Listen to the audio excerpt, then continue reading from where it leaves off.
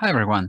This is Dr. Palacios, and I'm here to review another question regarding migraine headaches and supplements. Today's question is going to be regarding vitamin B2 or riboflavin. I have been taking riboflavin for about two months, and I intend carrying on taking it for the time being. I have been having chronic pain since January, but the last month or so, I am at least feeling so much better. I would suggest riboflavin is worth a try and give it three months.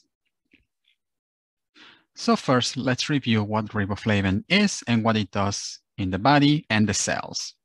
Now, riboflavin or vitamin B2 is one of the groups of the B vitamins that we as humans can't make. Therefore, we need to take it from diet or supplementation. Now, what it does exactly, it helps the mitochondria do its work better.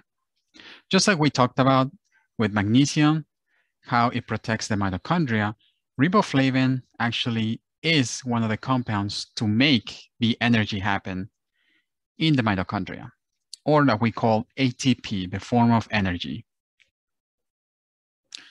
The nice thing about riboflavin is that in addition to doing the work of the mitochondria, it also protects us from lipid peroxidation, which is the fat breakdown, and riboflavin also protects us from high levels of homocysteine. And homocysteine is this compound metabolite that can lead to heart disease, specifically atherosclerosis. Obviously, there's many other ways to lower the levels, and riboflavin is one of those. Now, the foods that are high in riboflavin are the following. Eggs, meat, so all kinds of meats, so salmon, chicken, beef, organ meats, and so on, you name it. And lastly, almonds. Now that we understand a little bit of what riboflavin is and where we can find it, we can also now discuss what it does in the brain. Because after all, migraines is a condition that affects the nervous system and the neurological pathways. So riboflavin acts in the nervous system as an antioxidant protection and removes toxins in the brain.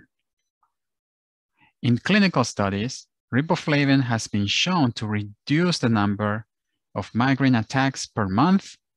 And the nice thing about it, the only side effect you have to worry about is yellow urine.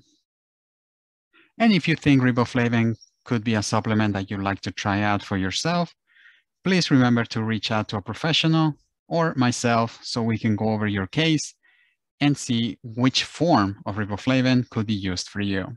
And if you like to work together and address the root causes of your migraines, please click on my bio link below. And we can also find alternative ways to your migraines and other conditions as well. And it's all at the comfort of your home. Thank you so much and have a great rest of your day.